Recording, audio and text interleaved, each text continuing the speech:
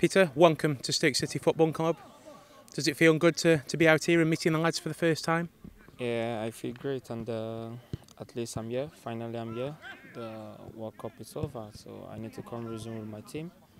I'm happy with the team. I'm happy with everybody here, and uh, I really appreciate the support and the welcome they give to me. I'd imagine it's been a whirlwind for you. You've been away with Nigeria, very busy. I'd imagine you've not had chance to think about Stoke City too much. no, come on.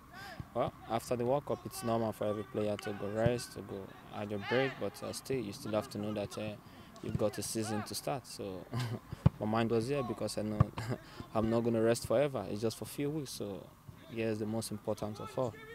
And what a few weeks for you it was. I think you were one of the stars of the of the first few games. A lot of supporters were very excited to see your performances. Well, like I said earlier, I just want to thank them for the support, and uh, I believe uh, let's see how the season goes. If gonna, I believe we're going to make a great season. But let's see how it goes.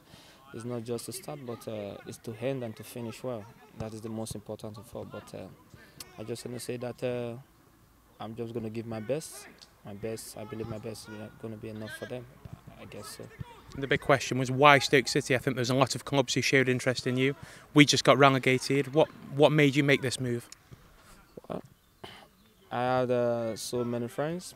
Well, not a lot of them, but uh, people that uh, I spoke to and uh, the tradition of the club. They were nice people. They were good people that you can work with.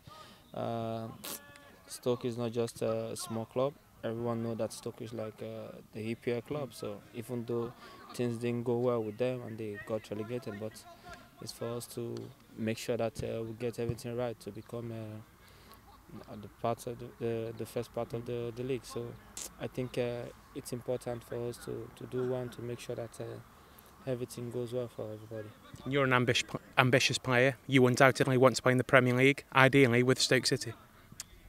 Well, for truth, I got other options from the Premier League, but uh, like I said, I signed before I even went to the World Cup. Uh, because of the relationship and the, the conversation I had with them, and I was happy with it. I was okay with it if I wasn't happy, if I wasn't okay, I'm not going to mm. come to Stoke. So I believe uh, I'm happy with it. I think the supporters saw you in a couple of positions in the World Cup. You played deeper, you played more attacking. Where does Peter Etebo prefer to play? Depending on what we've got, depending on the situation of the game. But uh, my main position is uh, the attacking midfield. But if I find myself playing defensively, nothing more, just for me to give my best you look at the squad of players, there's a lot of quality, there's a lot of talent. You must be excited to get involved and, and get working. Yeah, I'm really excited. Indeed, I'm really pleased because that's why I say that it's for us just to make sure that we do well, to, to give our best, to make sure that we come back to, to the first league. Although it's not going to be easy. It's not just what I'm saying now, it's just, just to do well. It's not going to be easy, but uh, let's see how it goes. In terms of fitness, you look in good shape. Do you feel ready to go straight away? Yeah, I'm ready to go. I'm very ready to go in terms of fitness. Well, not 100%, but I believe I'm ready to go.